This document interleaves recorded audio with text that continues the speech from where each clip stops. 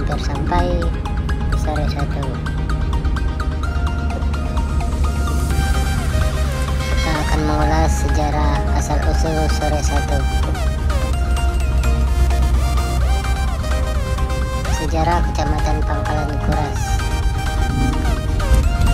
Menurut sejarah kerajaan Pelalawan memiliki empat datuk. Salah satu dari empat datuk tersebut berkedudukan di Pangkalan Kuras. Pusat pembangunan penduduknya berada di Kuala Napu, Pangkalan Pasir.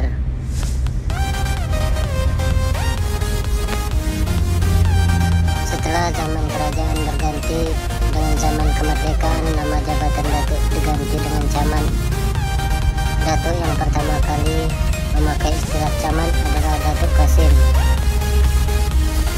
Jadi camat pertama pada zaman awal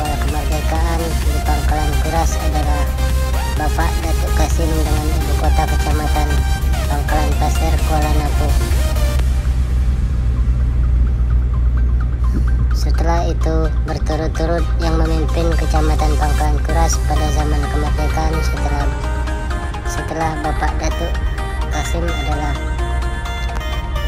Arifin.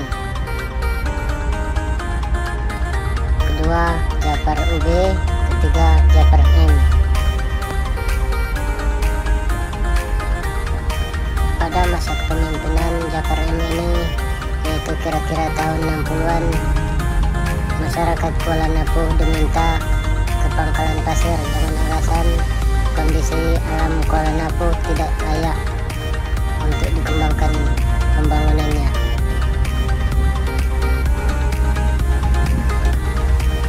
Berkat kerjasama antara masyarakat dengan aparat pemerintah dengan waktu kurang dari dua tahun, seluruh masyarakat Kuala Napu sudah bermukim dan membuat perkampungan di Pangkalan Pasir. Sejak itu masyarakat Kuala Napu pindah ke Kuala Pasir diganti menjadi Desa Kesuma oleh Jafar Um yang artinya kerjasama untuk maju.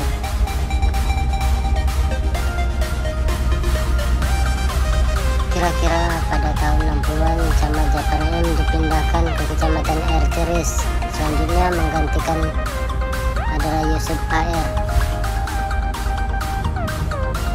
Pada masa kepemimpinan Yusuf AR, ibu kota kecamatan Pangkalan Kuras dipindahkan dari Pangkalan Pasir ke Kelurahan Sore 1. Sehingga seluruh pegawai kecamatan dan pegawai kantor KUA pindah ke Kelurahan Sore 1. Demikianlah sejarah panjang kecamatan Pangkalan Kuras dari Kuala Napu Pangkalan Pasir hingga akhirnya sekarang di Kelurahan Sore 1 sebagai salah satu kota yang cukup berkembang di Kabupaten Pelalawan. Oke teman-teman, cukup di sini dulu. Kurang lebihnya saya mohon maaf bagi kalian yang lebih memahami. Silakan komen di bawah ini. Oke, terima kasih.